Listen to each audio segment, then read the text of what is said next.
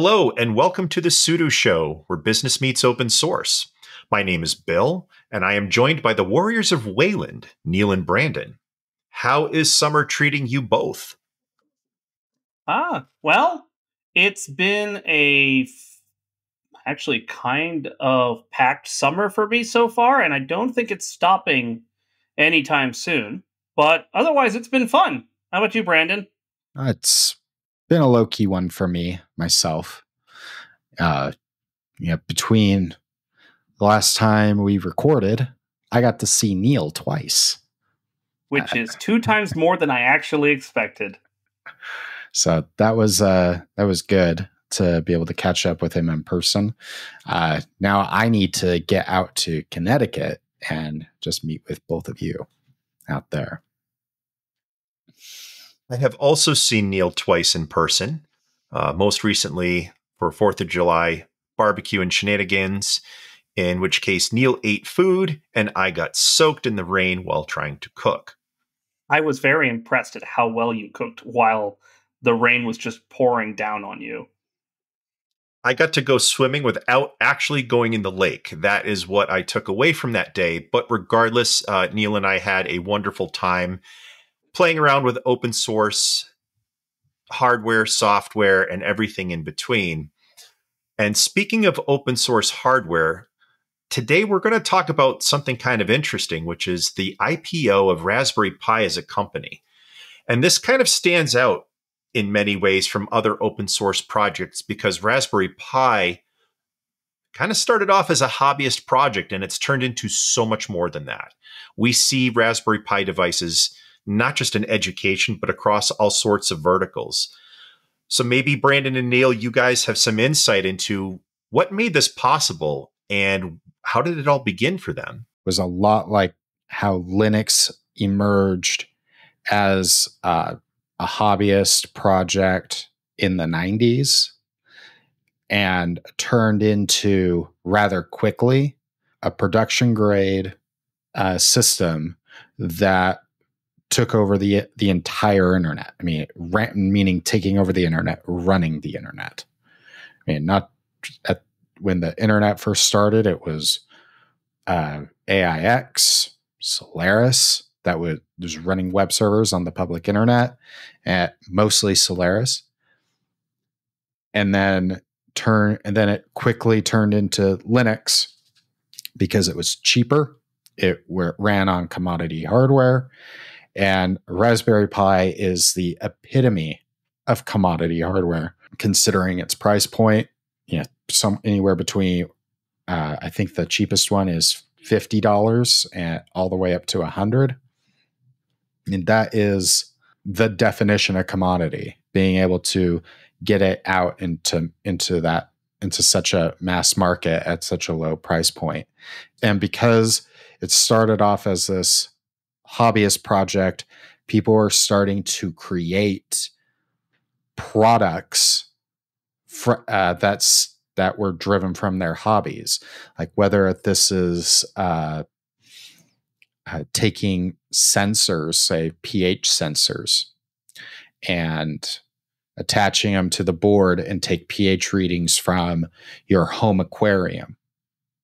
Things like that, right? That's the that's what has set this apart. It made this type of hardware that was industrial, like out, uh, typically out of reach of everyone else, of the everyday consumer and basically change the way we all uh, enthusiasts like us think about how how to develop a develop a new hobby or even develop a new product.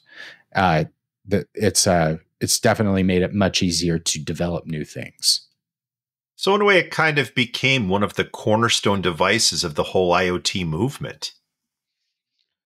IoT came first. Raspberry Pi just made it less crappy.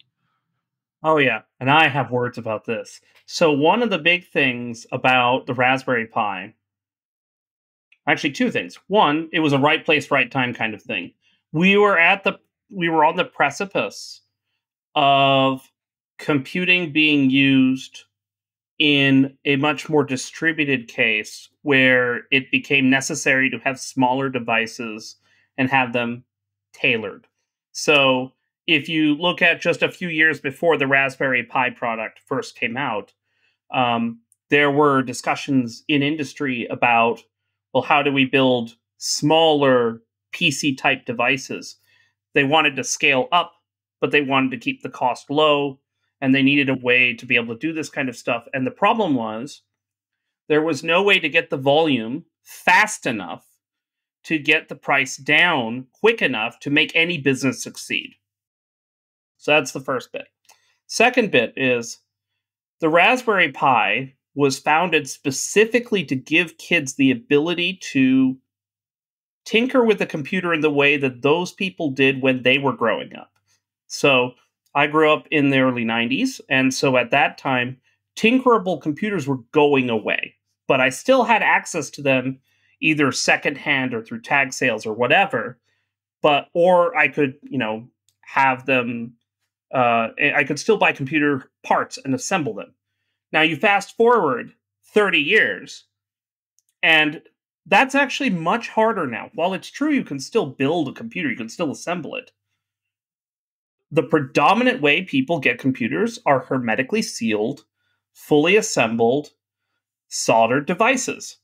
And that takes away a lot of the magic around or or rather that makes the computers themselves magic, right? In some in some sense. And, you know, I think it was like 15 years ago that they started. They saw that this was happening and they wanted to give people the same experience that they had. They're British, so their comparison was talking about the BBC Micro, uh, which I think was an Altair Sinclair or something like that, or I forget what what it was here in the U.S. But um, or maybe it never came here. I don't know. Anyway, BBC Micro. That was that was part of their introduction. The idea was give people a way to have that kind of Lego block experience and bit banging and all this other stuff. You work close to the metal in a way that is affordable and accessible. The Raspberry Pi Foundation, because it was a nonprofit, was a charity, and it was working for the public benefit, in this particular case, educating children on computing technology, they were able to take advantage of opportunities that aren't available in the commercial space. For example, they made a good deal, they were able to make good deals with Broadcom and other companies to essentially source the parts needed to produce this device at near nothing or basically nothing. Moreover, they were able to get donated support and engineering and all that effort to produce it. That allowed them to launch a $25 single board computer. Practically created the market segment, but more importantly, it allowed them to primarily focus on how to provide materials to teach people how to use it. Now, I'm talking about all this education and talking about kids, and that might not be relevant. That you may think that that's not relevant for the industry or or commercialization. But I disagree kids, with that. Yeah, yeah, I yeah, disagree with that. But those kids are now college grade, or they're in industry now, or they're working in as interns. And guess what they're bringing with them? A new degree of computer literacy, a reinvigorated interest in building technology the way that we did 20 or 30 years ago, and an increased aptitude and appetite for digging deep into and for problem solving right? These these things were things that legitimately a lot of people were afraid were going to go away. And because of how low cost it was how accessible it was and how broad it went they solved the industry problem of getting things up to scale but they also solved the education and the appetite problem of do we want people do, do people want to work on these kinds of things? Because it was also legitimately starting to become a problem. People were have the companies were starting to struggle to find people who wanted to do this stuff because computers were getting too magical. They were getting too hard. They were also getting too complicated to figure out to be able to do this stuff. And that kind of shortage could be very dangerous. So by focusing on something that is explicitly not industrial, they were able to have they created second order and third order effects to actually benefit the commercial and industry space. This is actually one of the reasons why I harp on so much that it is absolutely short-sighted to primarily focus on your first order target market. You should always think about your second and third order and work backwards. So, like, for example, if you're building something that is an enterprise solution that allows people to do, I don't know, mass deployments at scale with a with an interesting new methodology and tooling, well, you'd say, okay, well, my first order way of thinking is let's go talk to the com- companies and get them bought on board and all this other stuff. Now, the long game is to go work your way backwards. You start from talking to kids and getting getting interested scholars and and hobbyists interested and then they come into the workforce invigorated and interested and excited about these things and then they they bring those technologies forward and they make them stay there forever staying power this is how linux succeeded 30 years ago it's how google has succeeded in the education space now and mm-hmm. i i know this because as scary as this sounds some of the students that I worked with when I first started in education are now business leaders. And when they contact me for consulting services, the number one request that they have is how do we move out of Microsoft and into Google Workspace? It is the first question that they ask me because that's the tooling that they grew up with and that they got to put their hands on. Now, having worked in a store called Radio Shack many moons ago, I grew up with amateur radio, resistors, capacitors, PCBs, and I really wish that the Raspberry Pi had kind of existed during that time because it would have reinvigorated a parts store like that. I'll take this a step further where you discuss building computers. One of the things that we're starting to do now is work with ESP32 boards via the ESPHome project building our own IoT sensors and controls and, and automations. That's been fun to not just get back into how is a computer built, but how is a computer built at its core fundamental principles? How do you provide power to it? How do you address memory? How do you write code to the firmware of the device? So it'll modernize now that you have Bluetooth and Wi-Fi, but those are just communication mechanisms like we had for Ethernet or even serial port decades ago. But the most important thing, Neil, that you mentioned was kind of this collaboration from education, from industry, and everybody else to kind of wrap this up and make it happen. And that to me is one of the benefits of open source, not just as a business model, but as a as a lifestyle, as a as a community.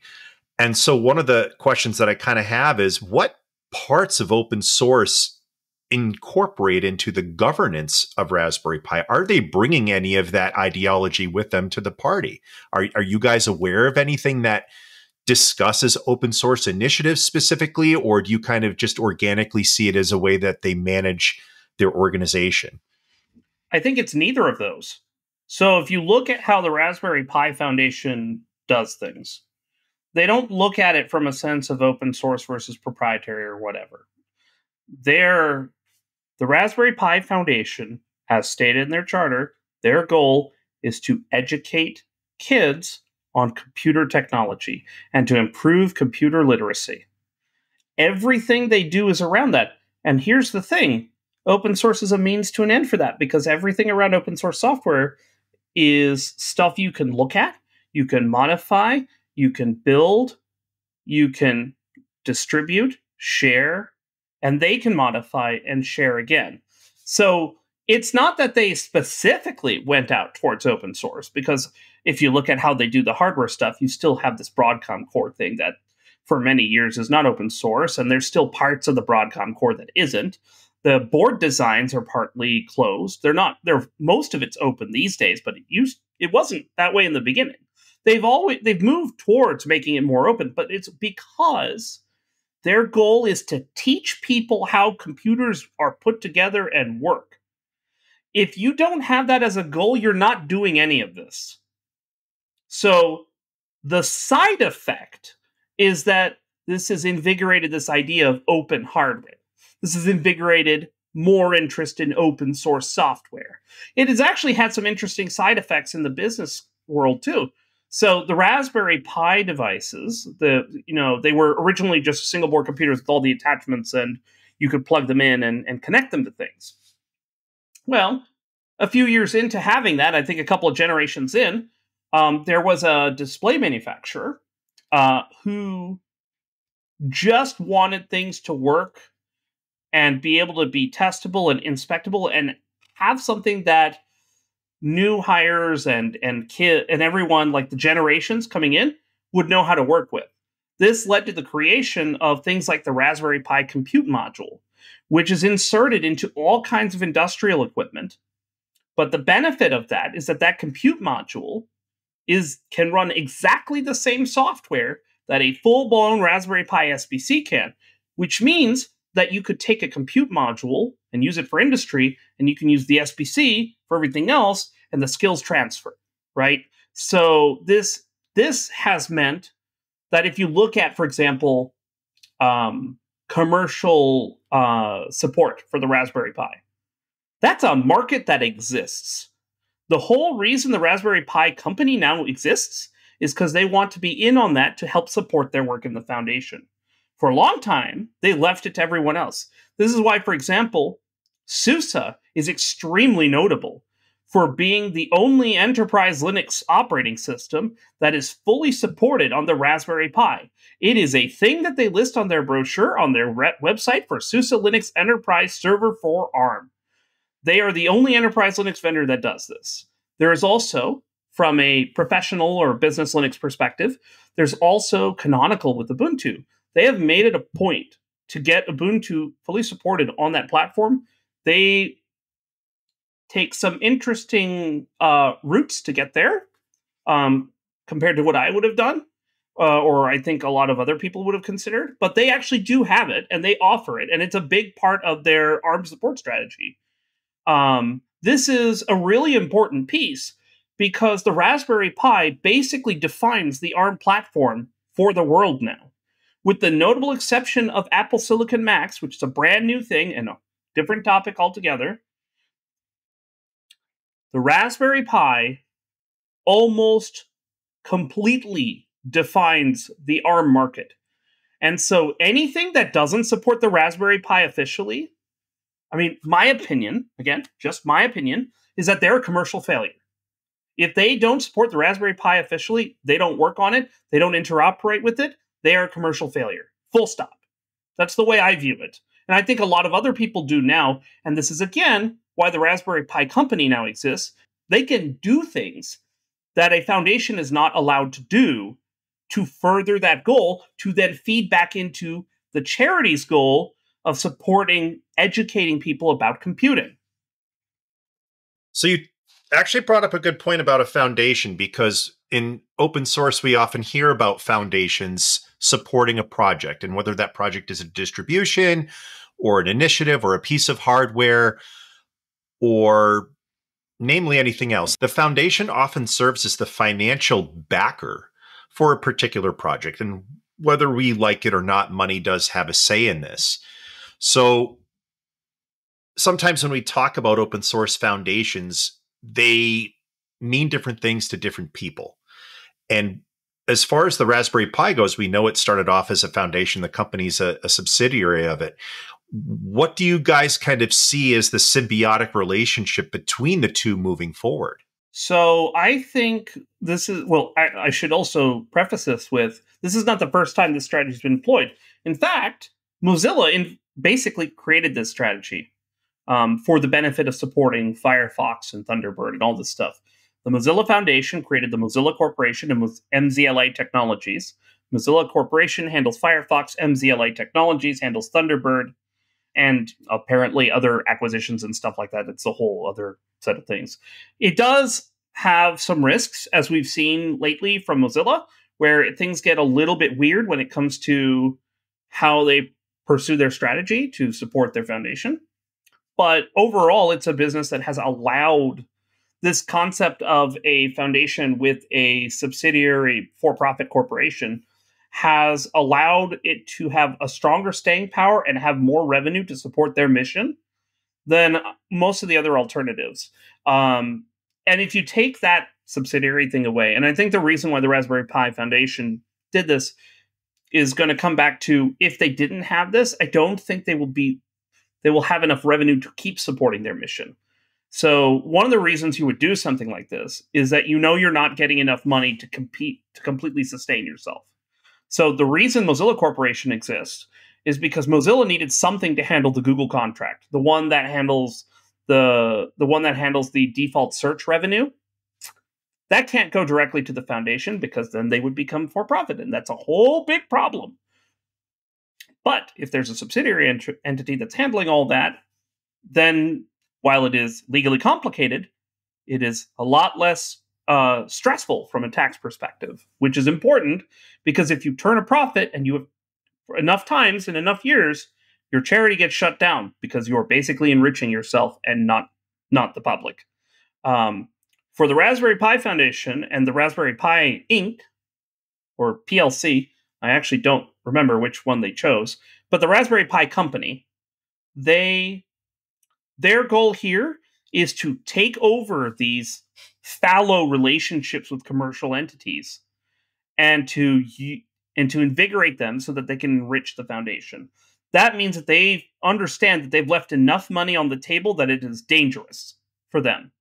Yeah, in terms of the symbiotic relationship, I think anything that the company does as long as it sticks to the to its values and continues to support the foundation I, right away i was just looking at the investor page uh, for the raspberry pi company. So again they're a publicly traded company now. $50 million has been distributed to the foundation. Uh, that's great. That's fantastic. A fairly decent revenue of 266 million and uh, gross profit was 66 million dollars I can't think of any other company that has gone public recently in the tech space that has been eh, granted this is gross profit not net profit that has been this profitable even with gross profit. Yeah that's not a thing that happens with ipos uh, so, usually they're close to broke. Yeah and and that's why i and and so as long as they continue to do this and continue on this trajectory of being very profitable and continuing to grow revenue and keep the foundation going to keep it going on its original mission of educating people in computers basically giving them the same not the same but similar education that I had when I was a kid, tinkering with uh, a 386 and 486 computers.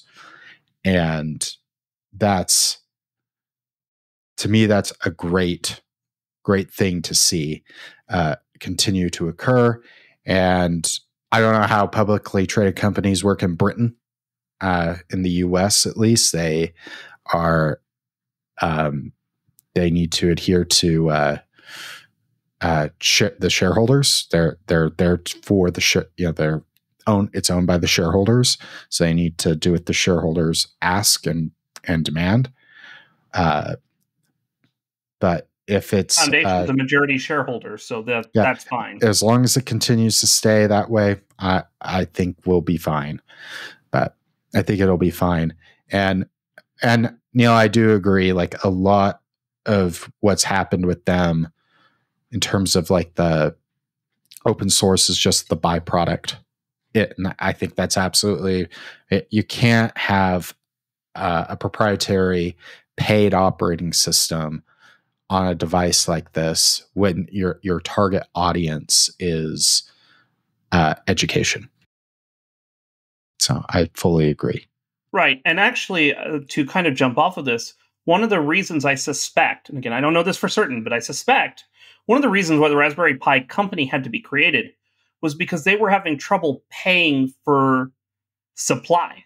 Like they were not building enough for the demand by a lot. No, they couldn't. There was there was a couple of years where no one could buy a Raspberry Pi because there was simply no supply and no money to purchase more manufacturing.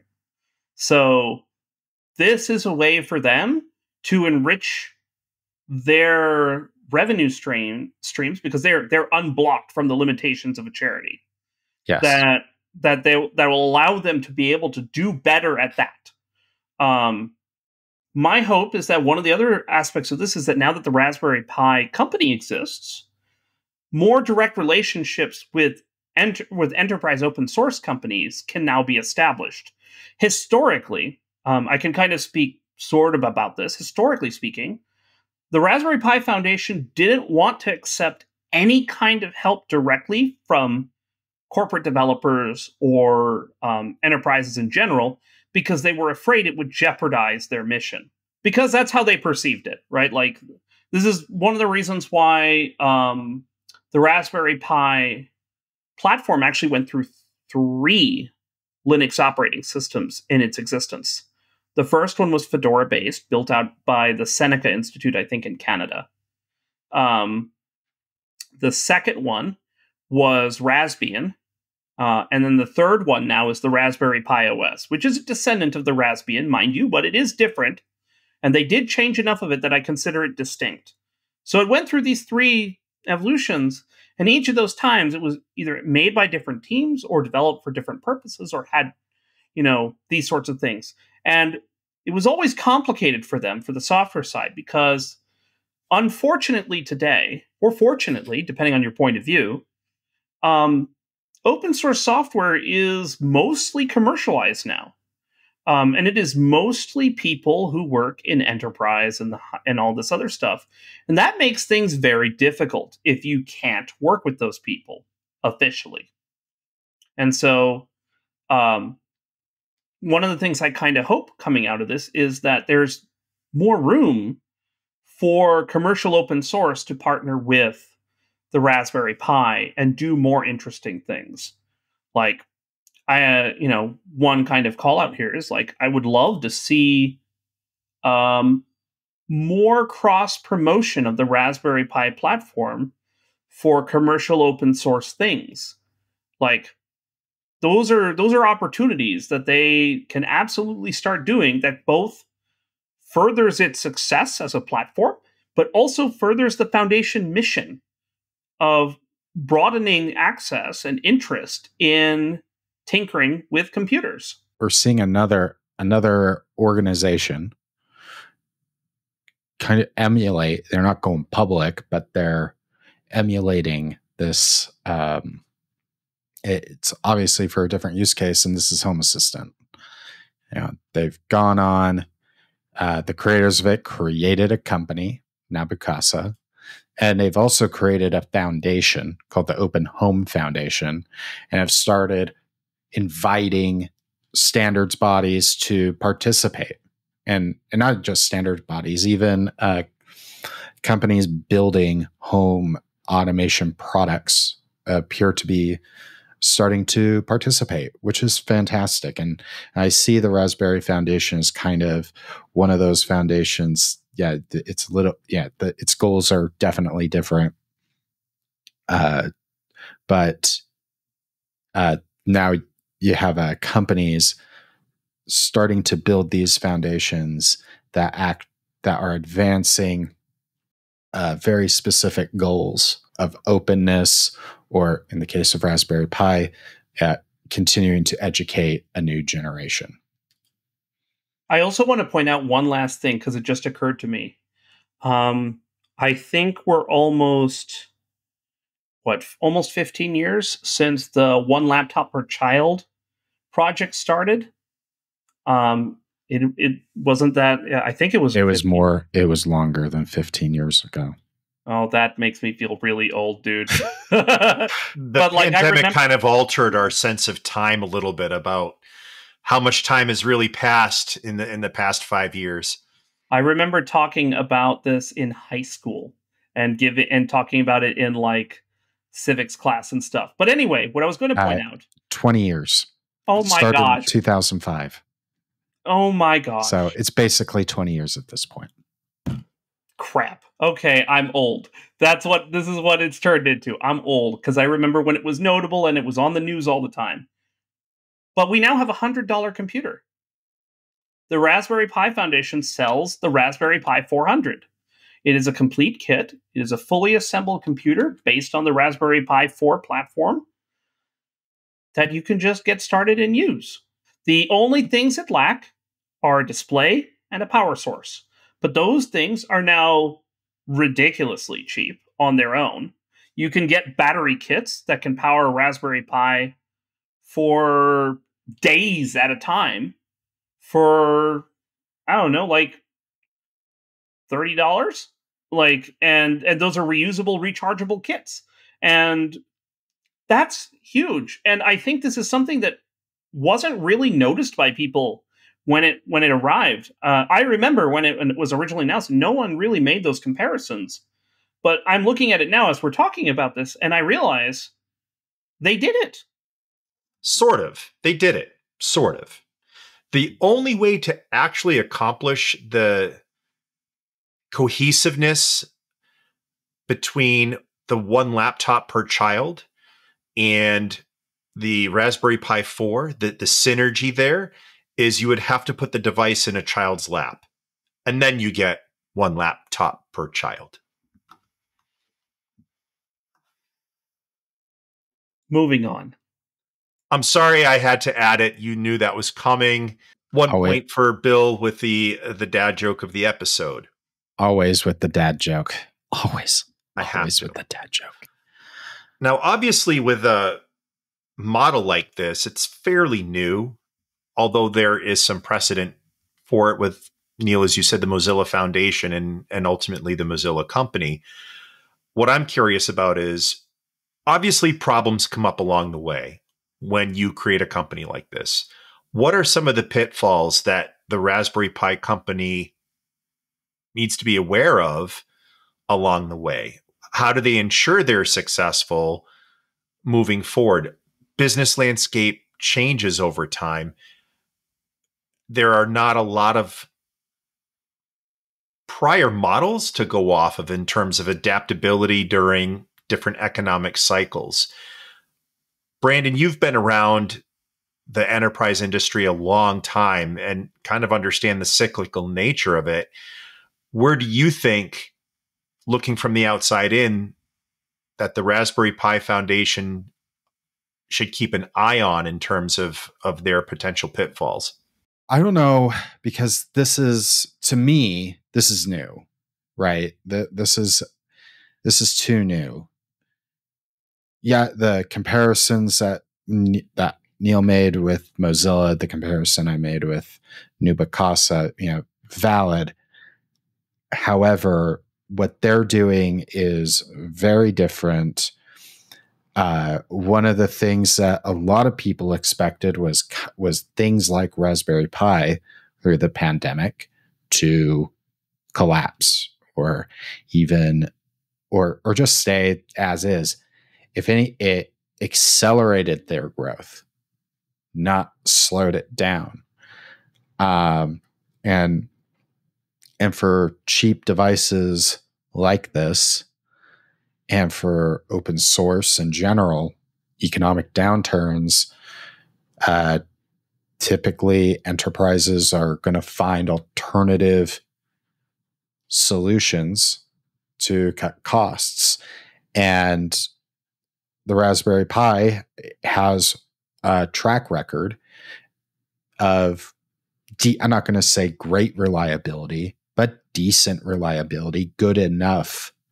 It's really uh, at that probably at the stage of good enough reliability to handle these industrial use cases. And I, I have a Raspberry Pi 3 uh, that I bought shortly after it was released, and it still works great. Yeah, uh, but I think that's uh, a testament to the simplicity of the device, yeah, and uh, versus its uh, versus general build quality. But uh, I, that's what a lot of companies are looking for. So I don't necessarily, unless uh, uh, there's like a major change in the silicon space and Raspberry Pi just happens to not pivot. Like, you know, if there was like a, uh, every, you know, everyone decided we're all going to RISC-V for low power systems, not ARM anymore, for example, or, or even go back to x86. You know, is X, if x86 uh, uh, uh, becomes more power efficient, et cetera, et cetera. But yeah, because anything could happen. I've seen lots of uh, lots of times everyone has said x86 is dead and then and then it then it keeps uh you know it keeps on trucking. So. I would say that probably the biggest risk to this to this model that they're that they have is that they get distracted um, that is the current problem that Mozilla has is that they get very easily distracted. There's a lot going on and there's a lot of pressure for them to respond to everything. I think one point in the Raspberry Pi's favor is that it is a concrete thing that they have to work towards. So for them, uh, there's a lot less that they can get distracted by. Um, obviously, there's a whole bunch of like expanding the product portfolio and doing other things and a lot of research and development and this and that. But fundamentally, because it's a hardware business, um, it is a lot harder for them to get distracted, pardon the pun, than it is with uh, a software business like Firefox with Mozilla, because you have to focus for a long time to produce something. Um, I, I, will also note that the Raspberry Pi 5, the other thing that they're in danger of is satisfying the industry too much. The Raspberry Pi 5 is starting to come onto the edge where it's not useful for for kids or hobbyists because it's getting out of range of disposable purchases out of toy range. Like, it is incredibly important that they provide products that are complete and useful and practical that are within the range of a, purchasing a toy. And that was extremely important in the beginning, and it is something that I've noticed has been disappearing from their from their the evolution of their of their products. Um, the Raspberry Pi, I think, now starts at fifty dollars. Um, actually, if I go look right now, it start yeah, it starts at sixty dollars. Right. The other aspect of it is like as they move forward into new generations of hardware, they're going to have new challenges on how to integrate it. Right. Like these are all things, but because they have so much they have to work on, I have a feeling distraction isn't gonna be a big problem for them. They have two major competing pulls on them, though. And that's where I think the biggest risk is. The company will do a lot to satisfy its industrial and commercial partners, but it's also got to do something to support the foundation's mission, or otherwise the charity is going to get shut down by Companies House. Like, and that's going to be a big problem too. So, uh, that's the the biggest problem. The biggest thing they have to worry about is the tug of war between the foundation's needs and the company's needs, um, and how that plays out. I don't know. We'll have to see in a few uh, how it goes over the next few years. Um, I think we will have to wait. I want to say two to four four years. It'll probably be about four years before we see anything actually come out of this of this new new venture because development roadmaps are somewhere between 18 to 20 months and then productization and distribution uh, takes roughly a year after that and then you're waiting a year to see the effects of that so we're probably four or five years out before we'll see whether this has a positive or negative impact on it so obviously now we live in a world of ai and while the raspberry pi isn't really designed for any ai intensive workload given that they're making direct, an AI kit. They're making an AI kit for it. So that answers that. But I'm I'm curious where, from a hardware standpoint, you see the Raspberry Pi going in that next five to ten years from from the raw parts that go into it. Do we see a 10 gig capable Raspberry Pi? Do we see a Raspberry Pi that's got four NVMe slots for storage expansion? Do you? The answer I know we yes. have yeah, yeah. They actually. So one of the things that makes me worried about the Raspberry Pi is the fact that they're adding those features to the Pi. So the Raspberry Pi 5 has PCIe lanes and can drive a low end AMD GPU. Um, that is actually both good and bad. It's good in that it's become the hardware is more capable, but it's bad because it means that this hardware is getting more it's expensive. Gonna, yeah. What what one of the things I I would one of the things I'd like to see is for these component uh, I, I shouldn't yeah i'm going to call them components to be modular right? I know everyone is uh, like, I know in the ARM world, everything is on the SOC. But it doesn't have to be.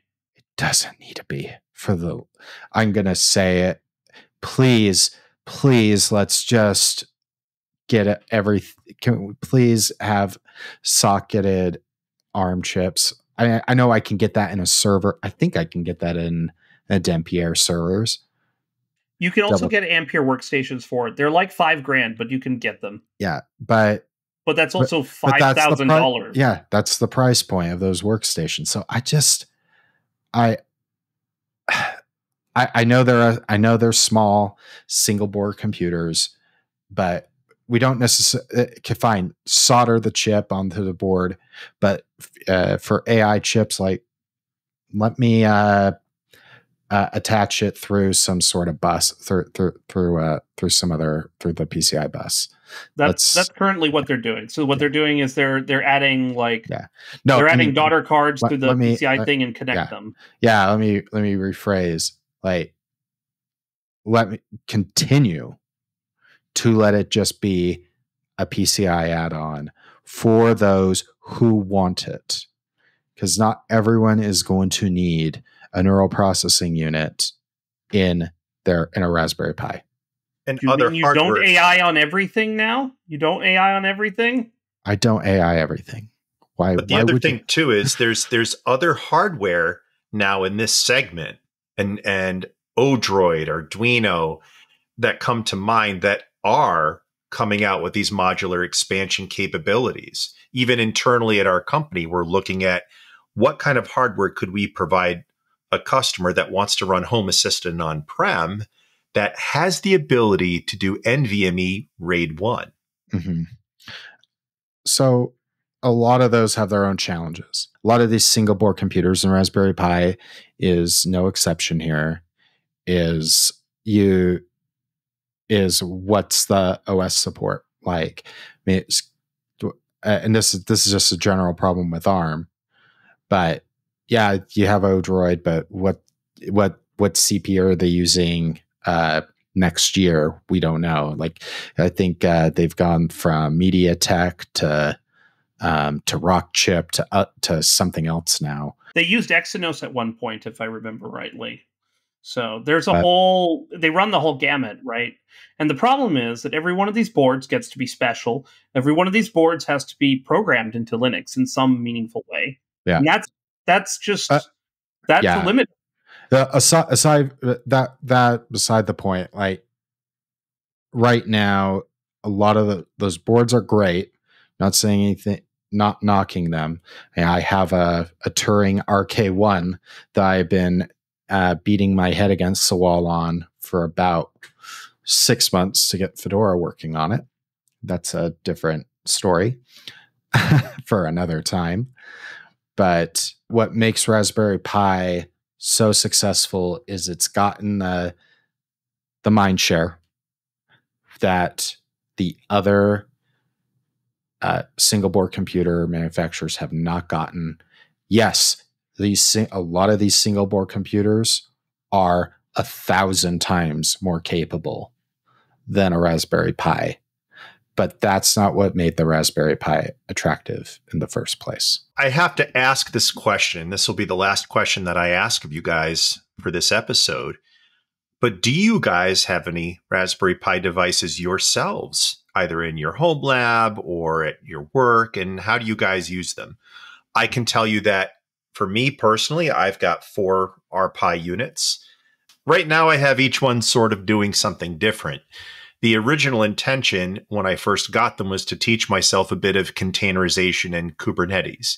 And both of you know how I feel about containerization and how it feels about me. But long story short, I still have the units. They're still sort of running some containers at my house. And one of them is running uh, an instance of VPN that I use to connect here when when required. So I'm just curious, do you both have any Raspberry Pi units yourselves? How do you guys use them? What do you like about it? And would you use it as a daily driver? I actually have three. Two of them are Raspberry Pi 3s, and one is a Raspberry Pi 4. Raspberry Pi 4 is running Home Assistant. The Raspberry Pi 3s are not currently in use at the moment. I have four Raspberry Pi 2s. I have three Raspberry Pi 3s. I have one Raspberry Pi 400. And I have a broken Raspberry Pi 4. Um, the Raspberry Pi 2s are not useful, so they don't do anything. Um, the Raspberry Pi 3s, I burned them out doing testing. Uh, and the Raspberry Pi 400 um, is what I have used in the past to do Fedora testing, desktop testing on ARM. Uh, and the Raspberry Pi 4 that I have, I don't do anything with it right now, I think, because I misplaced it. I don't know where it is. Um, but uh, uh, uh, only you would lose a computer. I also have Pinebook Pros and other kinds of random ARM hardware. I gave away my Pine 64 devices because I was done with those. Um, I I have a lot of har- I also have I have also an old first generation um, ARM server CPU motherboard from like eight years ago. And it was my one and only experience with an ARM computer that actually just worked without me having to do anything. Uh, uh, it it is a rare experience. Uh, it is a wonderful experience that no one will ever experience. So basically, Neil has become the only human to go anywhere near the technology equivalent of the event horizon. I'll take it. My foray with the pies has included trying to rack mount them, which that part was successful. What was not successful was powering them via PoE. It created so much noise that it was louder than an production grade HP modular switch running at full crank. I thought I was sitting next to an aircraft hangar doing test runs on their engines. I don't recommend that at the moment if you need that within any sort of proximity of about 100 feet of yourself. and for our viewers and listeners out there, unfortunately, no, we are not recording this episode from Raspberry Pi devices. I don't think that would be I don't think that would not be wise. Yet. That would not be wise at the moment. Challenge accepted. No, no challenge being done here. I like no. this. I like this. No. oh no. So it's gonna. We could do a live stream, and that way, we everyone can see how crappy the video production is from a Raspberry Pi device, and we don't risk a podcast episode. How about that? Well, I have an idea for you, Neil, uh, that I'd like to implement, and that is the next time you come up and visit, the space that you affectionately know in my office here is your workstation won't have a laptop dock hooked up to it. It'll just be a Pi 3B. You realize that it can't even encode the video fast enough for us to do anything. I am sure that with the genius that exists inside your brain, you will find a way to make it work. I will rip that thing out and plug in my laptop. That's how I'll make it work. Probably, if I had to venture a guess. But perhaps what we can do is find something useful for all of these pies to do in a future episode or in a lab or live stream or something else. I like the idea. We will entertain it. It's been great catching up with both of you. I'm glad to hear that summer's been going well for you guys. Uh, we have lots of wonderful things to talk about on future episodes, but for now, we must depart. So, as always, thank you for watching or listening to the Sudo Show, a proud member of the Tux Digital Network, where business meets open source. Until next time.